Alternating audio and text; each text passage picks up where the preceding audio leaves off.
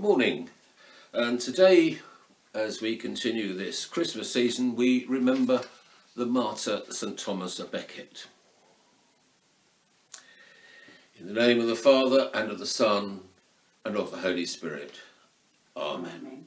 Grace, mercy and peace from God our Father and the Lord Jesus Christ be always with you. And also with you. As we prepare to celebrate these holy mysteries together, let us recall our sins and seek our Heavenly Father's forgiveness. Almighty God, our Heavenly Father, we have sinned against you and against our neighbour, in thought and word and deed, through negligence, through weakness, through our own deliberate fault. We are truly sorry and repent of all our sins. For the sake of your Son, Jesus Christ, who died for us, forgive us all that is past, and grant that we may serve you in newness of life, to the glory of your name. Amen. Lord, have mercy. Lord, have mercy. Christ, have mercy. Christ, have mercy. Lord, have mercy. Lord, have mercy. Almighty God, who forgives all who truly repent, have mercy upon you. Pardon and deliver you from all your sins. Confirm and strengthen you in all goodness, and keep you in life eternal, through Jesus Christ our Lord. Amen. Amen. Let us pray. Lord God, who gave grace to your servant Thomas Becket to put aside all earthly fear and be faithful even to death. Grant that we, disregarding worldly esteem, may fight all wrong, uphold your rule, and serve you to our life's end. Through Jesus Christ, your Son, our Lord, who is alive and reigns with you in the unity of the Holy Spirit, one God, now and forever. Amen. Amen.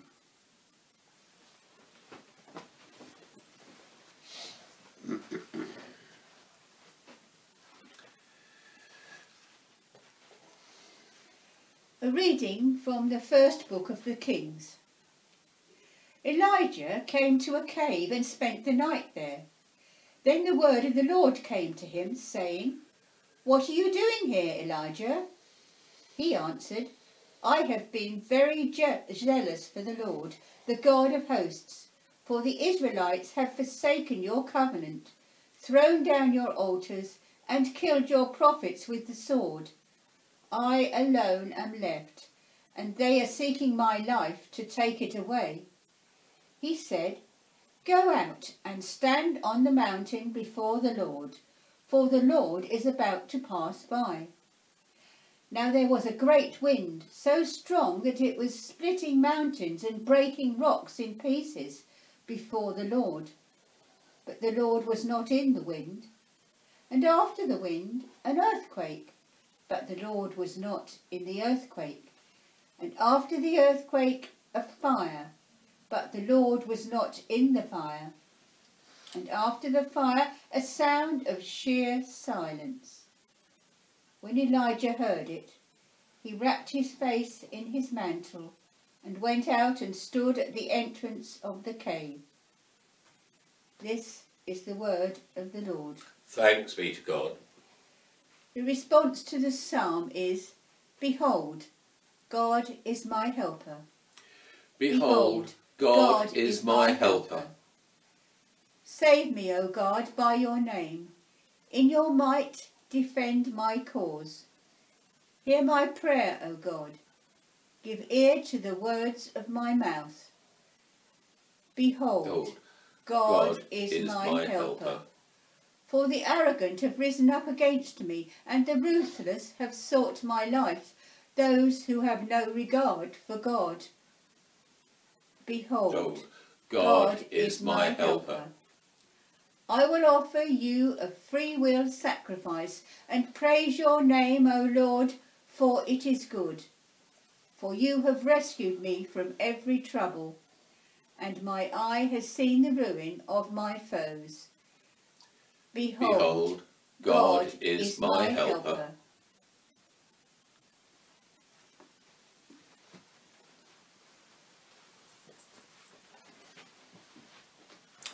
Lord be with you. And also with you. Hear the Holy Gospel according to St. Matthew. Glory, to you, O O Lord. Lord. Jesus said to his disciples, Do not fear those who kill the body, but cannot kill the soul. Rather fear him who can destroy both soul and body in hell. Are not two sparrows sold for a penny? Yet not one of them will fall to the ground apart from your Father. And even the hairs on your head are all counted. This is the gospel of the Lord. Praise to you, oh, O O Christ.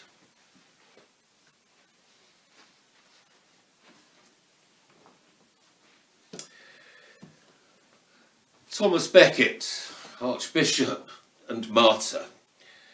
And I've long had a soft spot for him, and we keep his feast today. For eight years I was vicar of Williton, and the church is right next to the site of the home of Sir Reginald Fitzurse, one of the four knights who murdered Thomas in Canterbury Cathedral in 1170. I once even left a note of apology for, for the actions of my former parishioner, uh, for the parish priest of St Thomas of Becket Church in Montmartre in Paris. I never did receive a reply. Becket was murdered mainly because of his resistance to King Henry II's uh, uh, encroachment of civil power over the life of the church, particularly the clergy. Thomas was brave, resilient, single-minded and resolute. He was also very stubborn. Thomas was the son of a merchant, well educated, an excellent administrator and a very skilled diplomat. He became a very close friend of the king, who in 1155 appointed him chancellor which made him one of the most powerful men in the kingdom. In 1161, the king nominated Thomas as Archbishop of Canterbury when the post became vacant, because Henry thought that it would be a way to bind church and state closer together and to give the state a measure of control. Thomas at that time wasn't even in holy orders so he was ordained priest the day before he was consecrated bishop. Henry had his way. Thomas became archbishop. But then the king was in for a shock. Thomas took his new job very seriously. And he wasn't going to be pushed around by anybody, not even a king so the king got very frustrated at all of this. He, his scheme wasn't working. And he lost his temper. And he, he failed to control the church, which is what he wanted.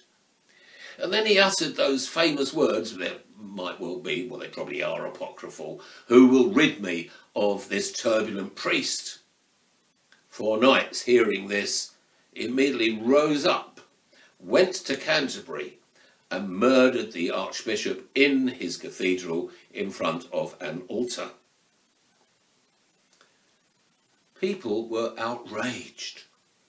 They condemned the king as a murderer and already very quickly proclaimed Thomas a saint and a martyr. And Thomas's tomb in the cathedral very quickly became one of the foremost pilgrimage destinations in Europe, and it remained so for about 400 years. Chaucer's Canterbury Tales are all about a group of pilgrims on their way to Canterbury to pray at the shrine of Thomas Becket. The king was mortified.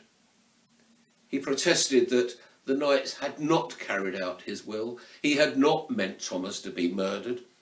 He, and, and, and he did penance. He even lashed himself as he knelt at the tomb of the shrine. Today we, especially Thomas, remember Thomas and we, we honour his memory. And we renew our determination to serve God in and through his church. We take Thomas as an example of life. And as we do that, we must show the same bravery, resilience, single-mindedness and resolution as did Thomas. And we stand up for the faith and we proclaim that Christ has come into the world to save us and to save all people. And now let us pray.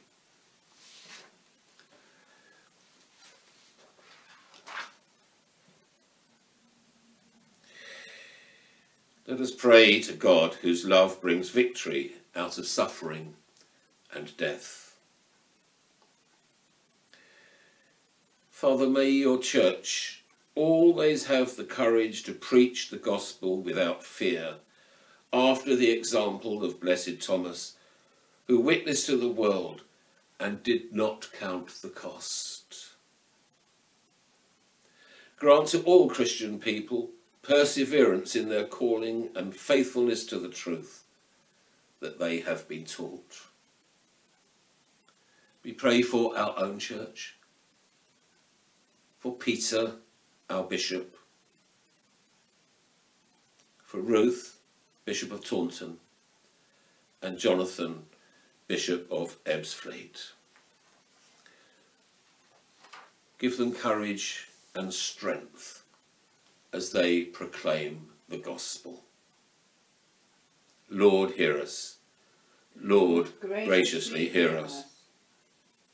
Have mercy on the world, where good is often met with evil and love with anger. Open the eyes of men and women everywhere to see and follow the goodness around them bless those in authority and lead them into the way of peace. Lord, hear us. Lord, graciously hear us. Give us strength when faith is hard and brings us into conflict with others.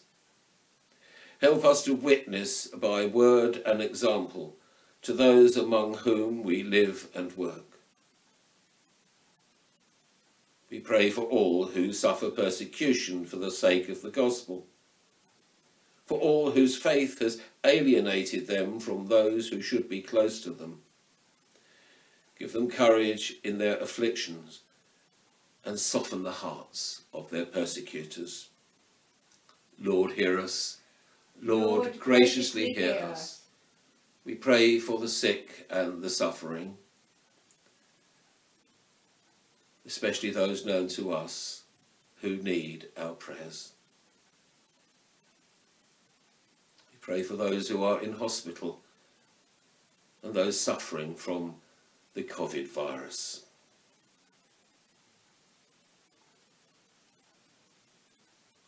Surround those who mourn with your love.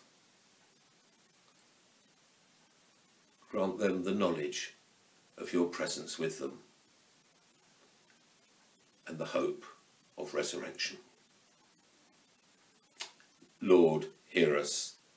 Lord, Lord graciously hear, us. us. We give thanks for all who have faithfully witnessed to the truth in this world.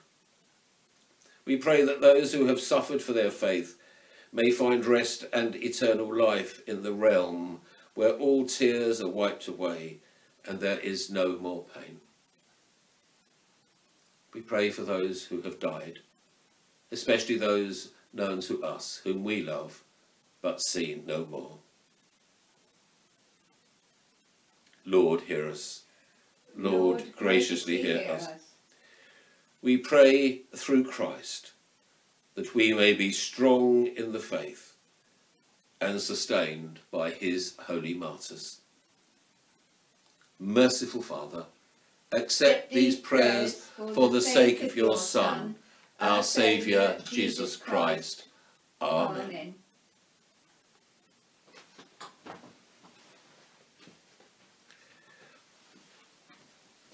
Blessed are you, Lord God of all creation. Through your goodness we have this bread to offer, which earth has given and human hands have made. It will become for us the bread of life. Blessed, be God, forever. Blessed are you, Lord God of all creation. Through your goodness we have this wine to offer, fruit of the vine and work of human hands. It will become our spiritual drink. Blessed be God forever.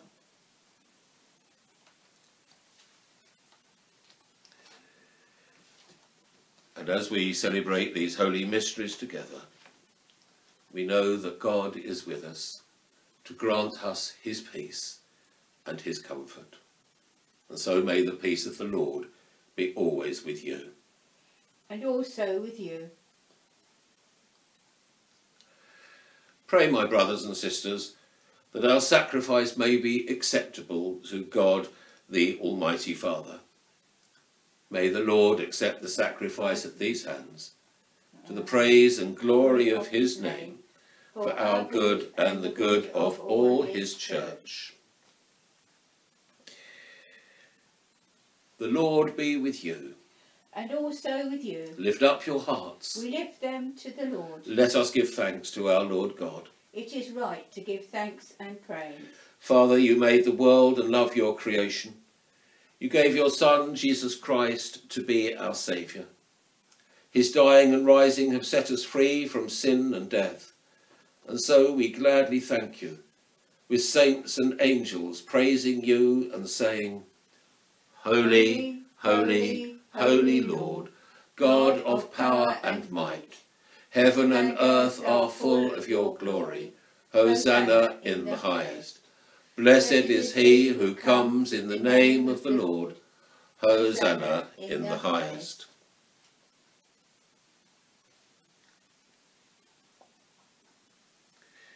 We praise and bless you, loving Father, through Jesus Christ our Lord. And as we obey his command, send your Holy Spirit, that broken bread and wine outpoured may be for us the body and blood of your dear Son. On the night before he died, he had suppered with his friends, and taking bread, he praised you. He broke the bread, gave it to them, and said, Take, eat. This is my body which is given for you. Do this in remembrance of me.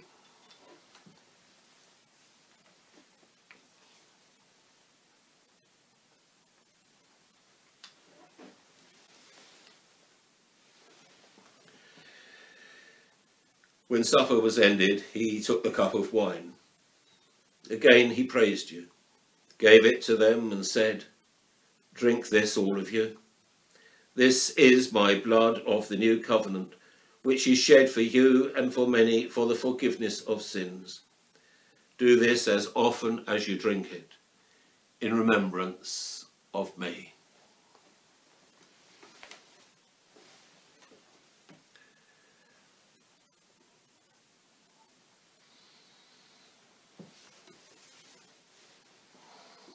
So, Father, we remember all that Jesus did. In him we plead with confidence his sacrifice made once for all upon the cross. Bringing before you the bread of life and cup of salvation, we proclaim his death and resurrection until he comes in glory. Great is the mystery of faith. Christ has died. Christ is risen. Christ will come again. Lord of all life, Help us to work together for that day when your kingdom comes, and justice and mercy will be seen in all the earth. Look with favour on your people. Gather us in your loving arms, and bring us with the Blessed Virgin Mary, St. John, our patron, and St. Thomas, martyr, and all the saints, to feast at your table in heaven. Through Christ, and with Christ and in Christ, in the unity of the Holy Spirit, All honour and glory are yours, O loving Father, for ever and ever. Amen. Amen.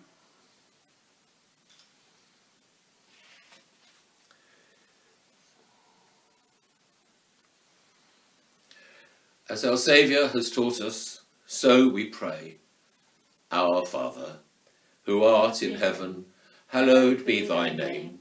Thy kingdom come, thy will be done in earth as it is in heaven.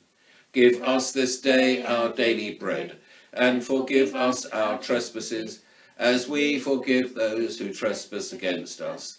And lead us not into temptation, but deliver us from evil. Deliver us, Lord, we pray, from every evil. Graciously grant peace in our days, that by the help of your mercy we may be always free from sin and safe from all distress, as we await the blessed hope and the coming of our Saviour, Jesus Christ. For thine is the kingdom, the power, and the glory, for ever and ever. Amen. We break this bread to share in the body of Christ. Though we are many, we are one body, because we all share in one bread. Lamb of God, you take away the sin of the world, have mercy on us. Lamb of God, you take away the sin of the world, have mercy on us. Lamb of God, you take away the sin of the world, grant us peace.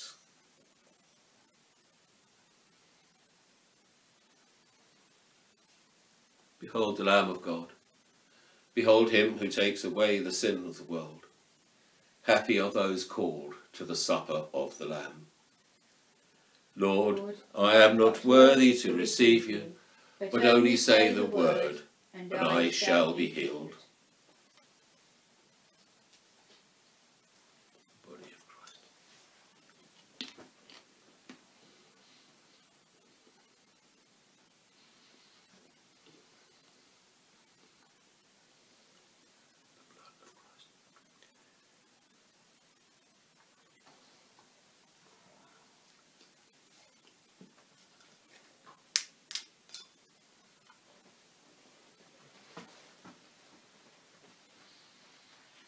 Body of Christ.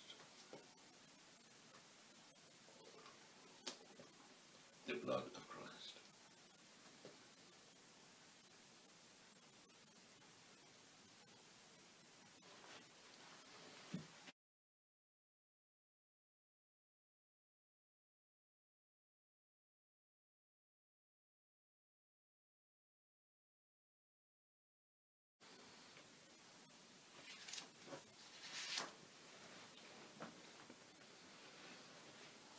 Let us pray.